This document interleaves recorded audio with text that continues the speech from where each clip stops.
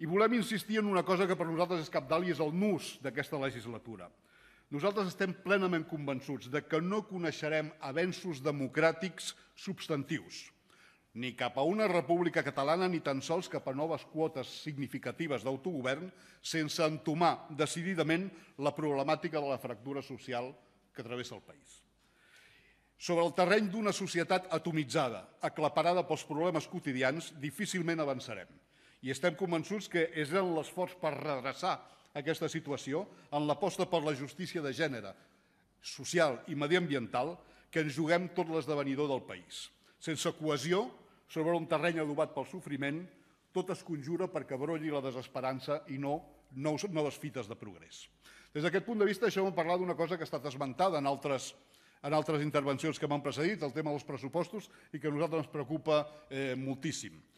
Hi ha una primera pregunta obligada, mm, que un dubte que cal esvenir. Eh, es proposarà aquest govern uns nous pressupostos o compta prorrogar els comptes del 2015? La qüestió em sembla clau perquè uns pressupostos prorrogats encotillats en les partides i les prioritats de l'exercici anterior, induirien a l'ofec i al continuisme. I això, sobretot en un moment en què necessitem no només implementar mesures d'emergència social, crec que en aquest punt tota la cambra està d'acord, de la mateixa manera que ja són molts a dir que les mesures anunciades es queden molt curtes en relació a la situació que he esmentat abans,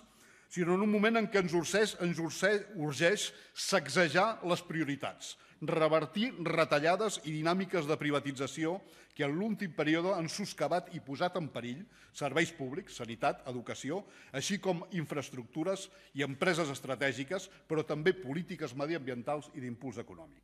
En un mot, es tracta de saber, i aquesta és la resposta que, que, que esperem sentir del, del president, si més no, com a filosofia del govern, si aquest govern entén inscriure's en la continuïtat dels que l'han precedit i fins a quin punt, o bé si per contra pretén operar un gir pel que fa a les polítiques de retallades que ens han dut fins a aquesta situació.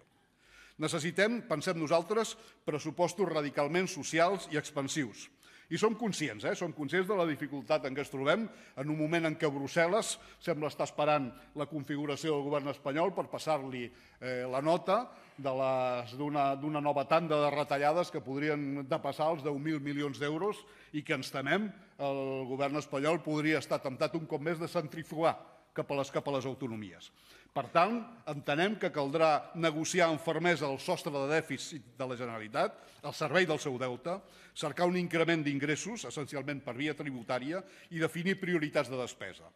Més enllà de l'estalvi que representen, tanmateix volem assenyalar-ho aquí, hi ha mesures de forta càrrega simbòlica, i això sí que en la formació d'un govern és, és, és eh, adient recordar-ho. Algunes, per cert, ja, ja decidides aquí en seu parlamentària anteriorment i que van estar incomplertes, com per exemple que la consideració, la consideració del salari dels consellers i els càrrecs que depenen del govern no depassi el topall d'allò que perceben els consellers del propi govern de la Generalitat. No ens podem estolviar, pensem, aquest esforç i en l'elaboració i el debat al voltant dels nous pressupostos es mesuraran, pensem, més enllà de la retòrica i els discursos, ja sabem que el paper ho aguanta gairebé tot, el compromís del govern i el seu autèntic tarannà.